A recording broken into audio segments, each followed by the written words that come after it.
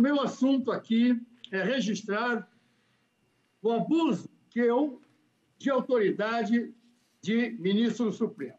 Eu quero registrar a absurda imputação a mim feita pelo senhor Alexandre de Moraes para justificar a inclusão do meu nome entre os investigados no inquérito 4828, decidindo pela quebra da minha privacidade. Trata-se da seguinte mensagem que postei organicamente nas redes sociais da internet, dia 26 de março. Abre aspas.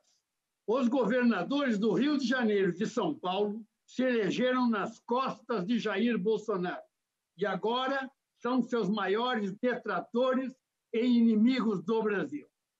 Querem o caos, mas antes que isso ocorra, as Forças Armadas entrarão em cena para a garantia da lei e da ordem, segundo a Constituição Federal.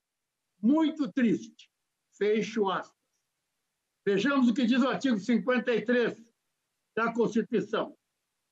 Os deputados e senadores são invioláveis, civis e penalmente, por qualquer de suas opiniões, palavras e votos.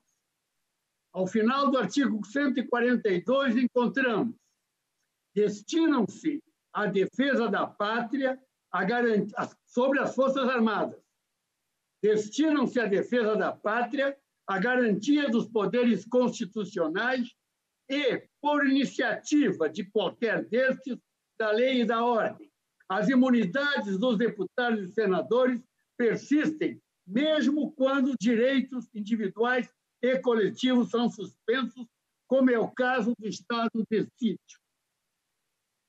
Depreende-se, portanto, que não existe nesta, nesta postagem qualquer indício de ilegalidade que justifique a escandalosa violação jurídica da minha privacidade.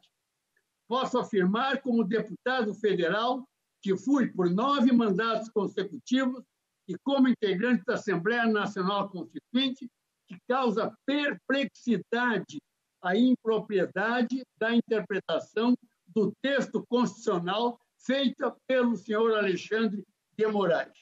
Como cidadão, eu exerci o meu direito constitucional à liberdade de expressão. Como senador da República, manifestei minha opinião e procurei tranquilizar as pessoas, indicando que a Carta Magna prevê ações de controle do caos através das Forças Armadas. Ao final, estranhamente excluído do processo externo, meu lamento e tristeza pela possibilidade de se chegar a uma situação caótica. Foi essa apenas a motivação jurídica para a inclusão do meu nome investigado nas ações antidemocráticas.